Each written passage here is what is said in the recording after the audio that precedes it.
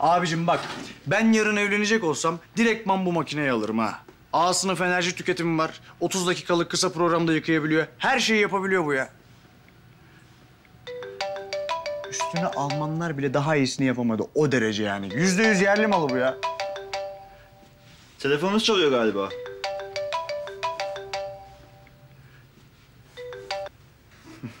Benim girlfriend ya.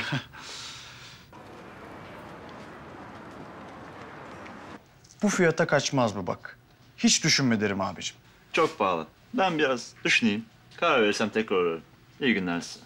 Sağ ol, iyi günler. Sağ ol. Madem almayacaksın ne konuşturuyorsun iki saattir ya?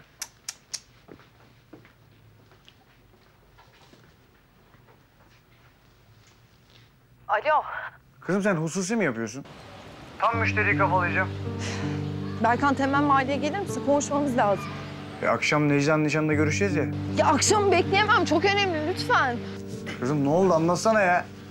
Berkant Bey, sohbetiniz bittiyse müşterilere bakar mısınız? Tabii tabii hemen şey yapıyorum. Kapatmam gerekiyor şimdi hadi konuşuruz sonra. Ya kapatma dur.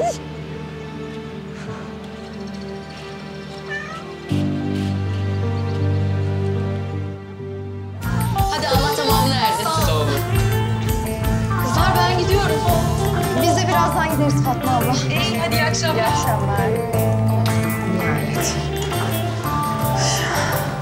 Ne? Kızım bir meseleyi konuşacağım sevgilime. Sen de asker gibi başımda Allah'ım ya.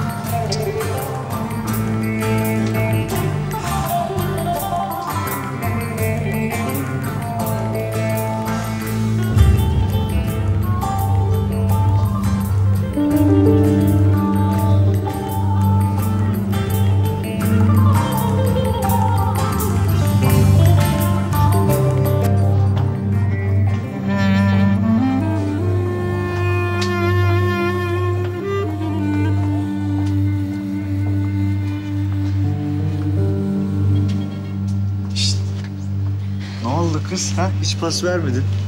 Bu kadar da karşında köçek gibi dans ettim ya. Ya dur oğlum ya. Ben o kafada değilim şimdi. Bir meselemiz var çok derin. Ne meselesiymiş o ya? Hamileyim ben. Nasıl olur lan? Sana sormalı Berkant Bey. Nasıl oldu acaba bu iş? Kızım ne yaptın sen ya? Böyle ben seni korunuyor sanıyordum.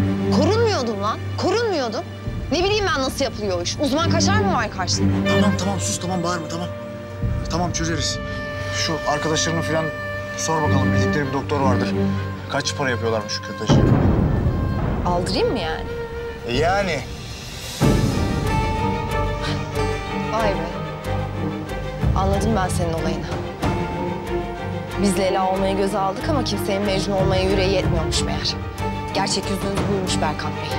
Ya kızım bırak şimdi yüreği böbreği ya. Kaç para tutar ki bu şey? Tamam yarısını ben veririm tamam. Kardeş payı yani anladın mı? Ha onu bile tam yapmayacaksın yani. Ben de seni adam sanmıştım lan. Ya kızım param olsa vermez miyim ya? Bak daha telefon taksidi bitmedi. Şimdi bitti işte geri zekalı. Ne yaptın lan sen?